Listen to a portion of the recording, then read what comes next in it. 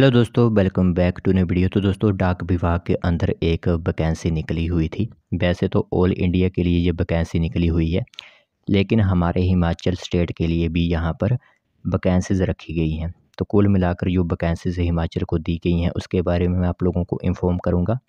साथ ही साथ किस तरह की वैकेंसीज़ होंगी, कौन कैंडिडेट्स इसमें अप्लाई कर सकते हैं, वो भी इंफॉर्मेशन आप लोगों को इसी वीडियो के अंदर दी जाएगी।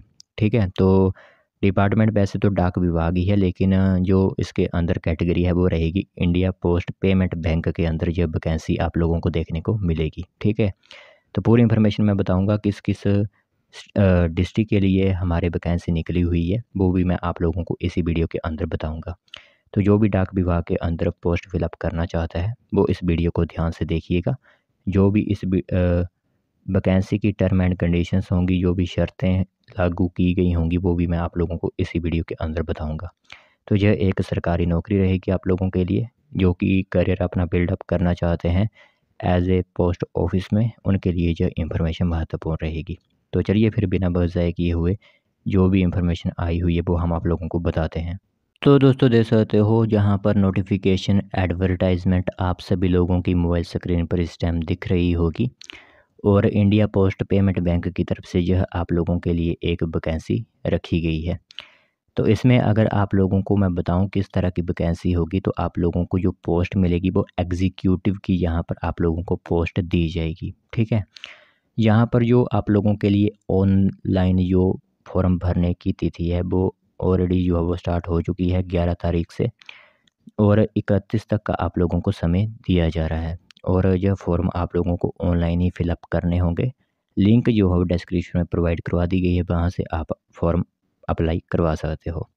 तो जो मैंने आप लोगों को बताया कि एग्जीक्यूटिव की वैकेंसी होगी और नंबर ऑफ़ वैकेंसीज़ की बात करें तो तीन सौ वैकेंसी होगी, लेकिन पूरे इंडिया के लिए यह तीन सौ वैकेंसीज़ रखी गई हैं।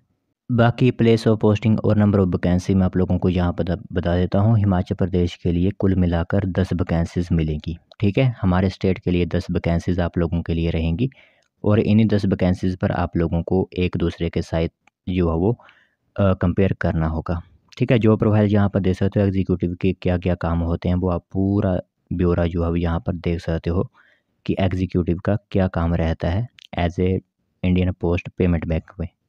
फिर आगे बात करें एलिजिबिलिटी क्राइटेरिया की तो इसमें जो एज रखी गई है वो 20 से 35 वर्ष रहेगी और मिनिमम एजुकेशन क्वालिफ़िकेशन आप लोगों के लिए चाहिए। ग्रेजुएशन अगर आपने किसी भी स्ट्रीम, चाहे वो आर्ट्स, साइंस, कॉमर्स से की हुई है तो आप इसे अप्लाई कर सकते हो।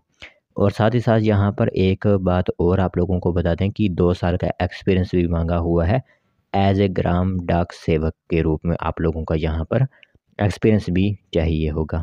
पे एंड अलाउंसेस की बात करें तो तीस हज़ार मंथली आप लोगों को यहाँ पर सैलरी का भुगतान किया जाएगा, ठीक है?